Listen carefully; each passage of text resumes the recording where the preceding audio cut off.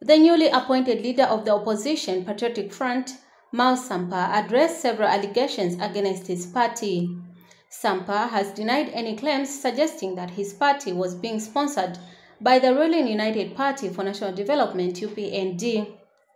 You should also answer the questions or tell the hijackers we defeated that there are allegations that they are being sponsored by MMD.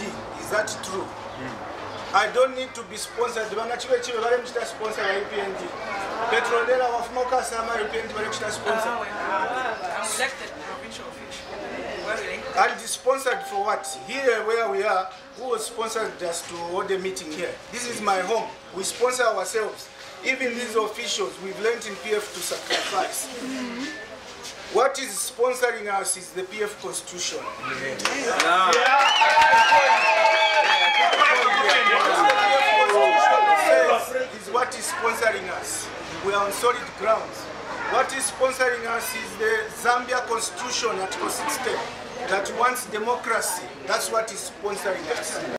Mr. Sampa, who was surrounded by his supporters at his residence, says that he does not require any funding from external sources to effectively run a political party as he says he has enough which he acquired through his former employment.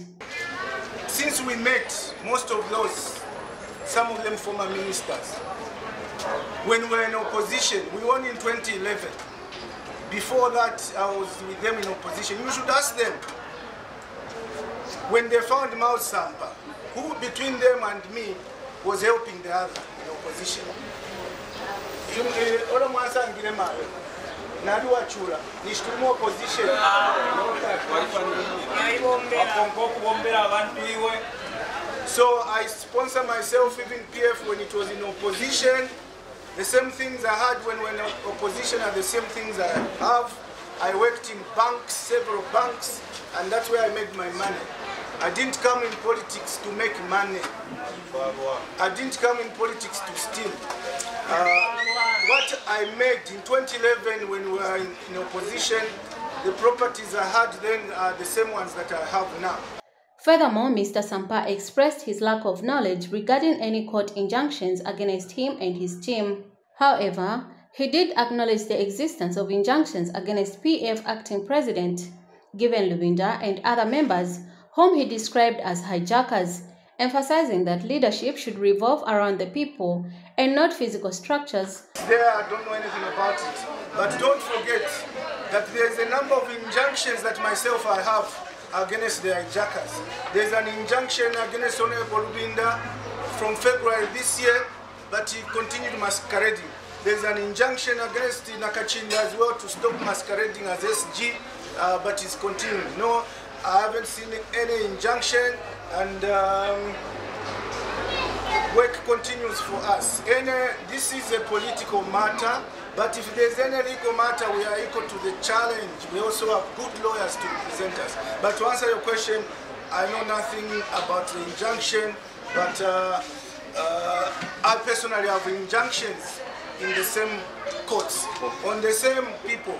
Uh, so uh, that doesn't affect uh, we are unstoppable.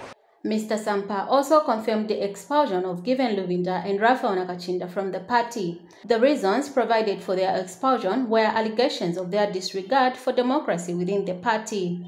Honorable Given Lubinda was expelled yesterday. Yes. For Honorable Raphael Nakachinda was also expelled for not wanting democracy. They don't want democracy. For hijacking the party not holding a general conference. So only those two. The rest, they are welcome to stay with us and yes. will not expel them. Meanwhile, Patriotic Front Secretary General Raphael Nakachinda says Miles Sampa is no longer a member of the PF party and that Matero constituency stands vacant. It therefore remains to be seen how members within the PF party will keep on expelling one another. Esther Nkoma, Muvi TV News, Lusaka